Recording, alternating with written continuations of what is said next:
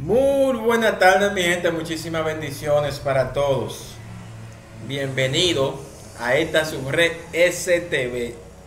Señores, hoy nosotros eh, tenemos algunas preguntas que tenemos que contestar y como sabemos que hay muchísima gente que está esperando información con respecto a todo esto que está pasando, cambio de tarjeta, eh, un bono de mil pesos y un sinnúmero de preguntas que me están haciendo, yo decidí eh, sacar unos 10 minutos para responder unas preguntas que yo sé que muchísima gente quiere información con respecto a este tema.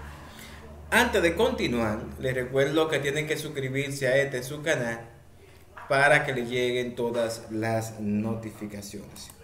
También denle me gusta si les gusta nuestro contenido. Señores, con respecto, primero, con respecto a al video que nosotros tratamos ayer, donde hablábamos del pago de los 1.500 pesos, el pago del cariñito, o sea, el pago del bono madre, hay que aclarar, porque hay mucha gente que todavía tiene una duda, piensa que es que lo están poniendo de nuevo. No, señores. Estos 1.500 pesos no es que lo están poniendo de nuevo. Son beneficiarios que tenían inconveniente en ese momento con su tarjeta o con la forma de pago y no pudieron cobrar. Entonces, como ellos reclamaron su pago, entonces ahora se lo están poniendo. Valga la redundancia.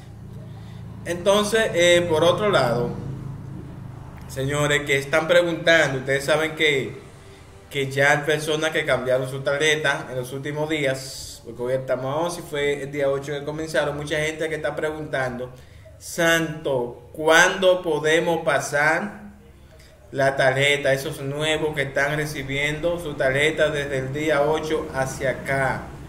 ¿Cuándo la pueden pasar? Miren, yo voy a ser claro con ustedes. Ah, eh, hay algunos beneficiarios que me dijeron que cuando ellos le entregaron su tarjeta, los técnicos le dijeron que podía pasar su tarjeta el día 22 de agosto. O sea que su pago estaría el día 22 de agosto para aquellos que han recibido la tarjeta desde hoy hacia atrás, porque la persona que me comunicó la recibió hoy en la mañana. ¿Comprende? Pero quiero aclarar una cosa.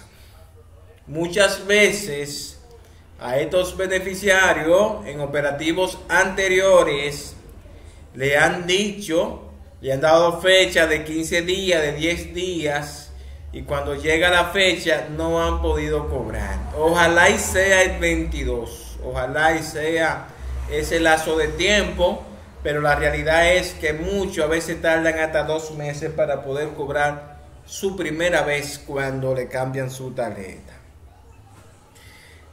También, señores, queremos aclarar con respecto a, la, a, lo del bono gas y el bono y el bono luz. Hay mucha gente que me dice, Santo, yo tengo cinco meses cobrando con mi tarjeta. Y es que en ese mes que entregaron, no les van a poner la tarjeta eh, a esos beneficiarios, por ejemplo, que la cobraron en marzo, en abril, en febrero. Digo que recibieron esa tarjeta en esas fechas. ¿Cuándo se la van a poner? Miren, quiero que entiendan una cosa. Si usted anteriormente tenía un subsidio, bono luz o bono gas, cuando usted le cambia su tarjeta, a usted le ponen los mismos subsidios que tenía anteriormente. Pero si usted es un nuevo beneficiario que no tuvo, que no tenía más que la comida, alimenta de los 1.650 pesos, eso es lo que va a seguir recibiendo, comprenda eso. No a todo el mundo le ponen bono luz y bono gas. Ellos, cuando aumentan la cantidad de beneficiarios, escuchen, esto, solamente cuando le quitan cuando aumenta la cantidad de beneficiarios con bono gas o bono luz, es que le ponen esos subsidios a otros beneficiarios.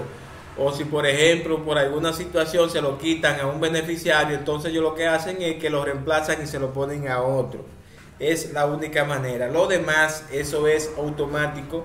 Usted no tiene que hacer absolutamente nada, a menos que usted lo recibiera antes y, y ahora no lo esté recibiendo. Señores, con respecto al registro con otra cédula. Miren, estamos hablando del bono de los mil pesos.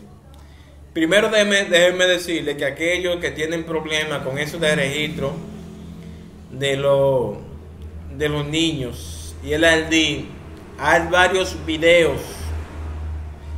Hay varios videos que yo he hecho en el canal. Incluso en este mismo video nosotros estaremos dejando nosotros estaremos dejando en la descripción varios enlaces para que usted vea cómo se consigue el ALDI, cómo es el ALDI, cómo se registra un niño, cómo se registra el ALDI de los niños, un sinnúmero de informaciones nosotros vamos a dejar.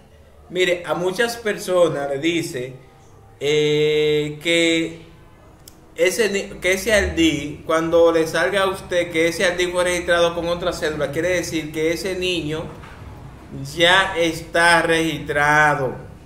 Ya está registrado. Pudo haber sido que esté registrado con el nombre del papá o de la mamá o de un tutor, valga la redundancia. Usted lo que tiene que buscar es el familiar más cercano que en algún momento eh, haya podido verlo eh, registrado. También le recuerdo que después usted registra un andí, o sea, un niño, es un proceso, tiene que esperar, tiene que esperar el proceso de validación de, del bono. Los niños eh, inscritos por primera vez, ah, escuchan esto, no tienen ID. Miren, esto es importante que tienen que saber los niños que fueron inscritos ahora, escuchen bien, los niños que fueron inscritos ahora por primera vez, ya sea en preescolar, aunque haya estado en una escuelita pública, si no tienen al DIN, la escuelita pública no tienen al DIN, o sea, la escuelita pequeña, la privada, no tienen al DIN, son la escuela pública los que tienen al DIN. Entonces, como cuando un niño es inscrito por primera vez, es un proceso para la creación del ALDI. Si usted lo inscribió por primera vez este año, no se introducen al sistema porque no tienen ALDI. Para que sepan eso. O sea que para esos niños no hay bono, valga la redundancia. Entonces quiero que sepan que cualquier otra información que usted quiera eh, preguntar, pues me lo puede hacer por Instagram, otra cosa. Eh, recuerde que usted se puede verificar en la plataforma de, de, de, la tarjeta eh, de los operativos para ver si le toca cambio ahora, cuándo le toca y dónde le toca. En la descripción de este video estarán todas esas informaciones. También yo les quiero recordar, señores, que por ahí tenemos los productos Araceli, que son productos 100% eh, naturales que se adaptan a su bolsillo porque vienen en diferentes tamaños. La crema viene en diferentes tamaños. Eh, la crema, señores, es una crema blanqueadora que elimina las manchas, los barros y las espinillas. En menos de una semana, si usted la usa, estaría viendo los resultados. Pero Araceli también tiene un jabón para lavarse la cara, un protector solar ahora que está haciendo mucho calor y mucho sol.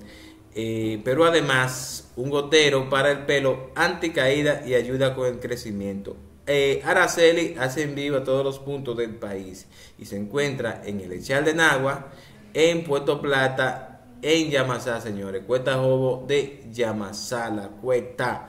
Eh, ahí está el número de teléfono en pantalla para que usted se comunique. 829-677-7261.